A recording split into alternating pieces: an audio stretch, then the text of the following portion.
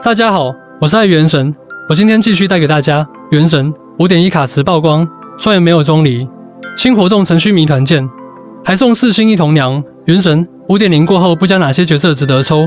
只看强度机制，就这么几个还能抽。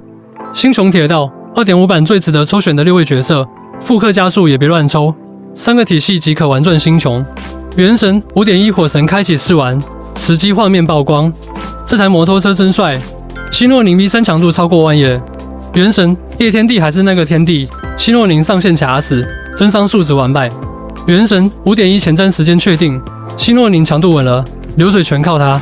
五点一最高可获一零一抽，五点零上半还未结束，很多玩家就已经开始关注五点一版本了，主要是五点零的两位新角色强度一般，而五点一的希诺宁强度又在线，只要能安稳的活出测试服，就是仅次于万叶的最强辅助了。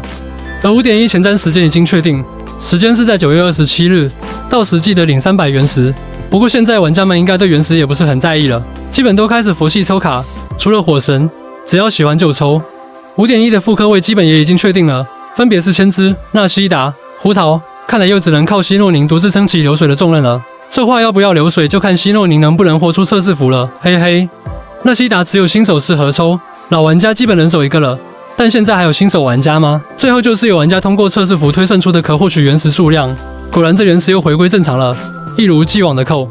不知道现在还有多少玩家愿意去买大小月卡？现在都只抽火神，其他角色随意了。目前幻夜人在复刻期，许多玩家在纠结是抽取万叶还是新角色希诺宁，两者都是极具实力的角色。幻夜被誉为夜天地，而希诺宁则被内鬼大佬们一致认为是人权卡角色。为了帮助仍在纠结的玩家。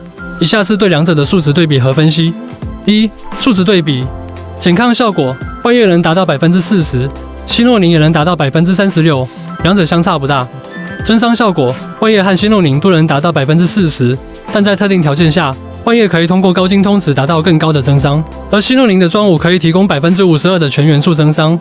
其他特性，幻月能巨怪，手感好，希诺宁则提供抗打断和回血效果，对大世界探索者友好。万叶给前台角色提供两百点精通加成，希诺宁则为四属性角色提供各种 buff，除风系和草系。二、分析与建议，强度对比，综合来看，希诺宁在征服方面略胜一筹，但两者强度相近。在五点零大膨胀的时代，这样的差距是合理的。阵容适配性，希诺宁适合长轴输出角色，能让他们摆脱扩散限制；万叶则更适合爆发类型角色，能让他们打出最舒适的效果。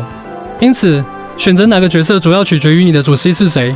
特定阵容表现，希诺宁在一命时能将增伤、减抗、抗打断、回血等机制集于一身，且全程覆盖。而万叶虽能提供增伤、减抗和一定输出能力，但阵容中需考虑生存奶妈的位置。不过有班尼特存在时，万叶可以扩散火元素，并享受其提供的攻击力加成和治疗效果。综上所述，无论是零命还是二命的希诺宁和万叶，他们的强度都相当。选择哪个角色主要取决于你的主 C 类型和个人喜好。如果你的主 C 是水龙王或仆人等爆发类型角色，幻夜可能更适合你；如果你的主 C 是赛诺等长轴输出角色，希诺宁则可能更合适。原神五点一版本越来越近了，随着希诺宁的不断曝光，也吸引着玩家。主要就是希诺宁的技能定位和万叶太像了，就差一个巨怪。现在希诺宁 V 三技能改动也来了，也改成了百分之四十的增伤，双武增伤改成了全队。这么一来，灵命就是完全体了。不过现在只是 V 三调整，还是要看后续会怎么改吧。另外就是五点一魔神任务中可以试玩火神了，这么快就能看到火神的时机了吗？可惜只是过剧情而已，火神试用中不包括技能，只是以火神视角过剧情。哎，现在能看到的只有试用界面，可惜没有技能相关的消息。现在想要超前爆料已经没有消息源了，内鬼几乎消失了。另外就是五点一魔神任务中可以试玩火神了，这么快就能看到火神的时机了吗？可惜只是过剧情而已。火神试用中不包括技能，只是以火神视角过剧情。I 现在能看到的只有试用界面，可惜没有技能相关的消息。现在想要超前爆料已经没有消息源了，内鬼几乎消失了。但网上却有大佬整了个套模的火神，看来是非常期待火神进食啊。这也是没办法的事。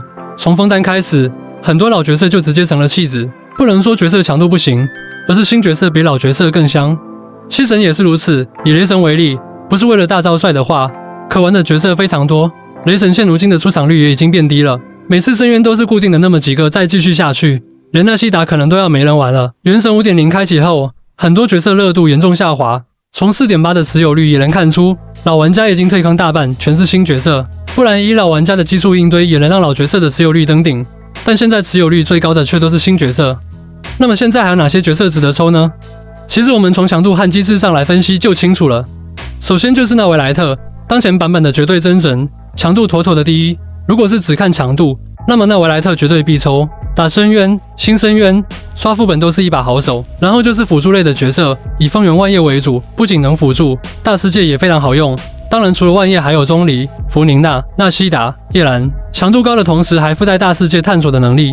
当然也有例外，那就是伞兵了。作为主 C，大世界能力非常强，虽然角色风评不怎么好，但能力这块绝对的强。所以只是冲着大世界体验去的话，伞兵也是非常值得抽的。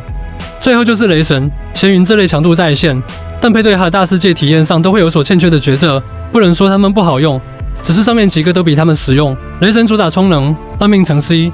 但在大世界杀怪是真的轻松，雷神连出场都没有必要，只能待在深渊和副本中。而闲云则是配对问题，因为主打下落攻击，大世界和枭组队会好些。但枭作为老角色，并没有多少人有。从持有率来看，新玩家也不会选择去抽肖，在当前环境，枭并不是很好用。当然，还有一些角色没提到，主要是根据持有率来分析的。至于很多没提到的，基本就是看个人喜好抽取了。五点零开启并没有给原神带来多高的热度。新角色流水也并不没有引发奇迹，可见原神玩家流失有多严重。还留下的玩家基本就是盯着火神，但在火神进池前还有一个五点一版本。那么我们来看一下这个版本都有哪些角色吧。